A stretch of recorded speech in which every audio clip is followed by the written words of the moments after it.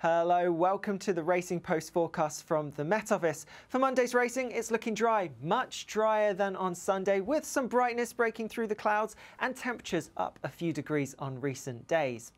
We've only got two racecourses in action as Lingfield has been abandoned and for both Wolverhampton and Fakenham then it's going to be dry with some breaks in the cloud perhaps taking a closer look at Wolverhampton where we have the later racing. And yes, the cloud will be pretty thick for much of the day, but I wouldn't be surprised if we saw some breaks. A gentle westerly breeze will bring a tailwind crosswind on the final straight and temperatures at the time of racing will be around 6 or 7 degrees. Heading further west towards Fakenham, and here we have the racing during the middle part of the day, and I wouldn't be surprised if we saw some sunshine or at least some brighter spells through the time of racing. Again, a gentle westerly breeze here bringing a crosswind on the final straight, and the going at time of recording soft, heavy in two dips. See you later.